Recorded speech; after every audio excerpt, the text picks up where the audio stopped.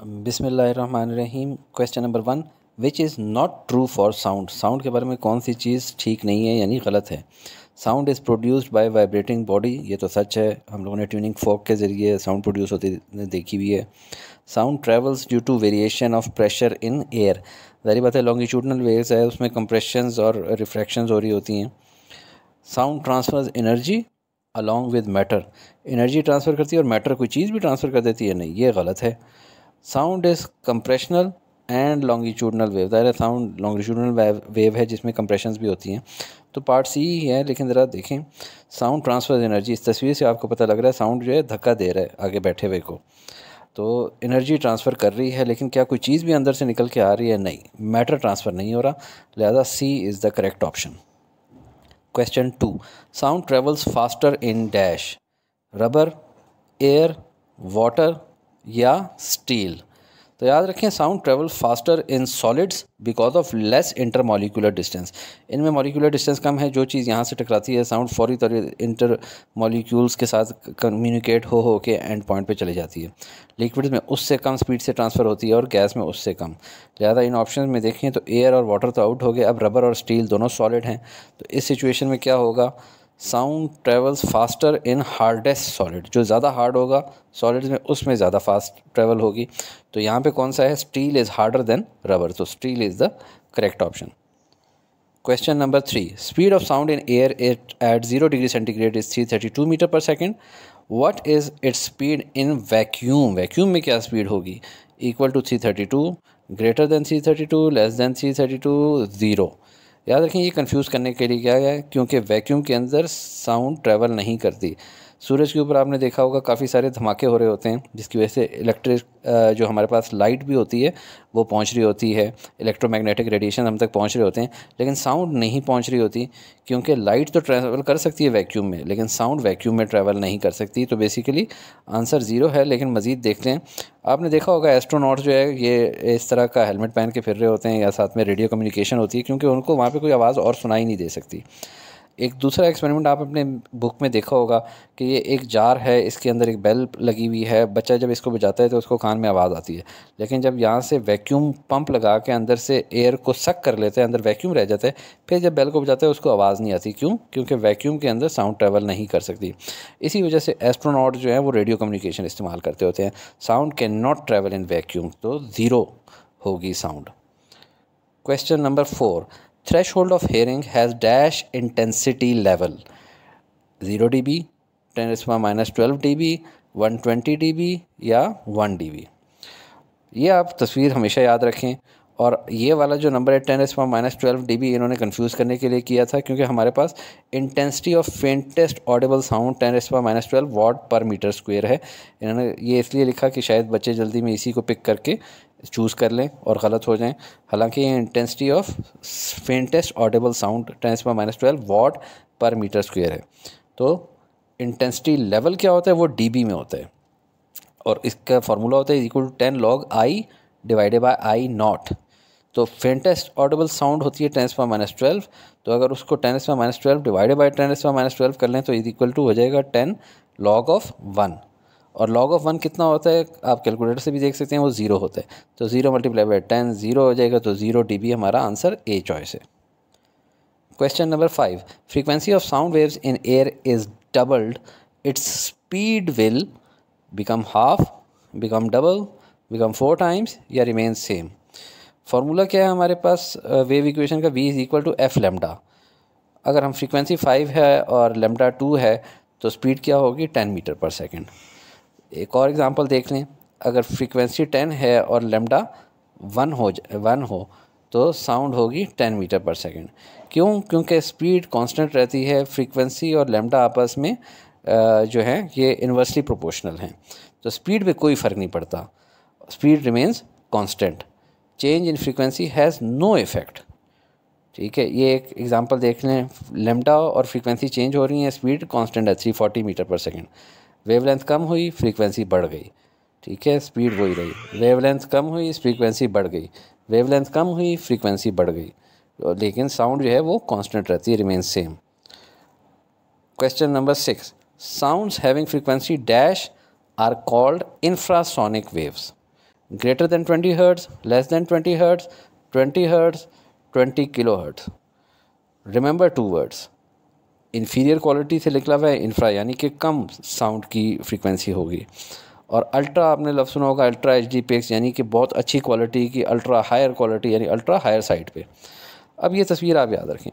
Twenty hertz से लेकर twenty thousand hertz तक हमारे जो कान हैं, वो बात, आवाज़ सुन सकते हैं।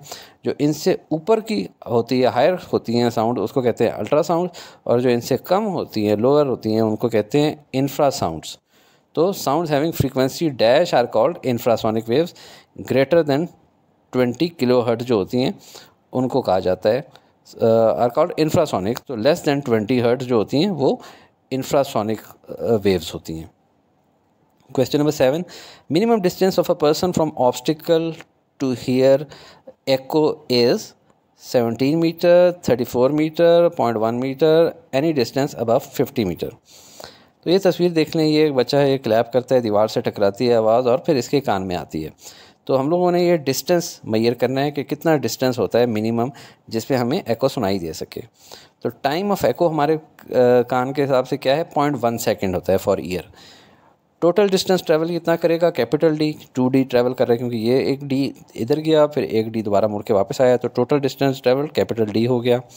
स्पीड ऑफ़ साउंड क्या है? आपको पता है three thirty two metre per second होती है और formula S is equal to V T आपने देख जानते हैं आप और एस की जगह हम लोग total distance capital D is equal to V T कर देते हैं और कैपिटल डी की जगह हम लोग लिख देंगे टू डी और वी की जगह लिख देते हैं थ्री थर्टी टू और टाइम की जगह पॉइंट वन यहाँ से हम लोग कैलकुलेट करते हैं और स्मॉल डी की वैल्यू आ जाती है thirty three point two divide by two is equal to sixteen point six इसको राउंड फिगर में कर लेते हैं सेवनटीन तो यहाँ से दीवार तक का फासला सेवनटीन मीटर होना चाहिए ताकि हम लोग एको सुन सकें ये मिनिमम डिस्टेंस है अगर आप 16 मीटर या 15 मीटर पे का डिस्टेंस रखेंगे दीवार से तो आप एको कभी नहीं सुन सकेंगे Question number 8. Which of the following properties of waves is directly related with loudness of sound? Frequency, wavelength, speed amplitude. ये तस्वीरें आप चंद देख लें आपको हमेशा याद रहेंगी कि ये वेवलेंथ क्या होती है? क्रेस्ट से क्रेस्ट तक का डिफरेंट या ट्रफ से ट्रफ तक का डिस्टेंस तो इससे तो कोई फ़र्क नहीं पड़ता साउंड की लाउडनेस पे। फ्रीक्वेंसी अगर ज़्यादा कर दें, ज़्यादा नंबर ऑफ़ वेव्स जा रही हों उसी टाइम में तो फ्रीक्वेंसी ज़्यादा करने से पिच हायर होती है।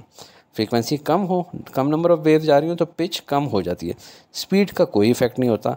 एम्पलीट्यूड बढ़ाने से जब आप जो है गाड़ी के अंदर या किसी रेडियो के ऊपर लाउड कर रहे होते हैं आवाज़ को तो वो एम्पलीट्यूड बढ़ा रहे होते हैं। जो ही एम्पलीट्यूड बढ़ाते हैं तो साउंड लाउडर हो जाती है। तो amplitude is the right answer question nine intensity of threshold of pain loudest audible sound without pain to ears क्या होगी? Ten minus twelve ten ten ten square twelve या one watt per metre square ये तस्वीर दोबारा आई है आपको याद होनी चाहिए। यहाँ देखिए, यहाँ से फेंटेस्ट साउंड होती है ज़ीरो डी पे।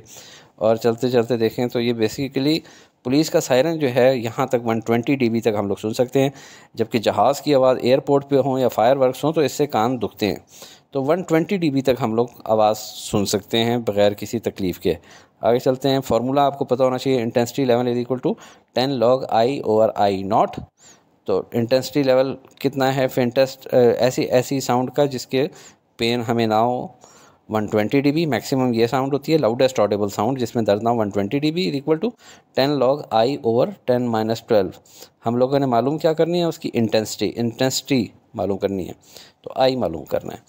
तो फर्दर सॉल्व करते हैं। ये टेन इधर गया one twenty divide by ten twelve आ गया। यहाँ आ गया log I divide by ten इसमें माइनस ट्वेल्व इसको सॉल्व किया log I minus log ten इस बार माइनस ट्वेल्व हो गया। इसको सॉल्व करेंगे माइनस ट्वेल्व उठ के इधर आएगा तो ये हो जाएगा माइनस इंटू माइनस ट्वेल्व और ये हो जाएगा प्लस ट्वेल्व लॉग टेन और फर्दर हम इसको सॉल्व करेंगे लॉग टेन क्या होता है? इसका मतलब है कि यहाँ पे भी टेन है। तो टेन की पावर क्या होगी कि आंसर टेन आए? वन तो इसका आंसर लॉग टेन का आंसर होता है वन तो ट्वेल्व वन अब लॉग आई हो जाएगा तो ट्वेल्व और ये ट्वेल्व उधर चला जाएगा। Twelve minus twelve is equal to log I zero is equal to log I, अब हमें लॉग तो नहीं चाहिए, हमें तो आई चाहिए। तो आई की वैल्यू चाहिए, इंटेंसिटी चाहिए तो लॉग के साथ हम लोग एंटी लॉग कर लेंगे। अगर इधर एंटी लॉग लगाएँगे तो इधर भी एंटी लॉग लगाना है। अब ये वाला एंटी लॉग और ये लॉग आपस में कैंसिल आउट हो जाएँगे। I is equal to anti log of zero आ जाएगा, या एंटी लॉग की जगह आप लोग हमेशा लिख सकते हैं टेन, और ये ज़ीरो ऊपर लिख देंगे, टेन स्क्वायर ज़ीरो। तो उसकी वैल्यू आ जाती होती है वन। तो हमारा आंसर है वन वॉट पर meter square. Question number ten. Silent whistle is use to train dog when trainer blows off whistle human beings do not hear it but dogs do listen its possible frequency is frequency greater than 20 hertz, frequency less than 20 hertz, frequency less than 20000 hertz, frequency greater than 20000 hertz. तो ये बड़ा interesting सवाल है। आप देखें, हमारी Audible frequency range है 20 hurt से लेकर 20000 तक। तो ग्रेटर देन 20 ये गलत होगा, क्योंकि यहाँ तो फिर हमें भी सुनाई देनी चाहिए थी। लेस देन 20 हाँ हो सकती है, ठीक है, क्योंकि हमें नहीं सुनाई देती, कुत्ते को सुनाई देगी। Less than twenty thousand hertz ये भी गलत है, क्यों? क्योंकि हमें तो सुनाई दे सकती है लेस देन ट्वेंटी थाउज़ेंड। तो answer greater than sorry, answer less than twenty hertz होगा, यानी इंफ्रासाउंड में होगा या greater than twenty thousand hertz यानी अल्ट्रासाउंड में होगा। तो जो डॉग ट्रेनर्स हैं, उनको पता होता है कि विसल जो है, वो normally thirty thirty five thousand hertz के ऊपर ऑपरेट कर रही होती है। आपने देखा होगा जो डॉग के ट्रेनर्स होते हैं, वो विसल ब्लो कर रहे होते हैं, हमें नहीं समझ आ रही होती, लेकिन डॉग फिर उनकी बात मानना शुरू हो जाते हैं। तो greater than twenty thousand hertz is the answer अगर आपको ये वीडियो पसंद आई है या नहीं पसंद आई तो फिर कमेंट करके ज़रूर बताइएगा और लाइक शेयर सब्सक्राइब करना तो बिल्कुल ना भूलिएगा। Thank you